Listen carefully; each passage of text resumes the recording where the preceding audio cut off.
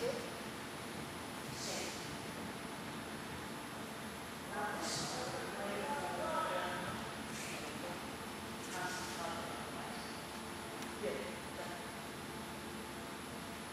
you can see it doesn't need a lot of power.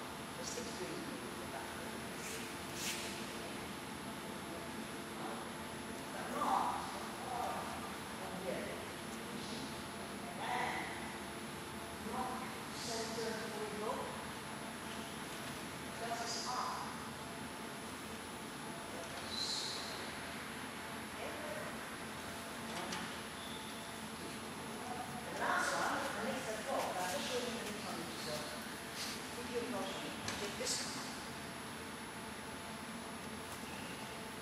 your hands are always changing.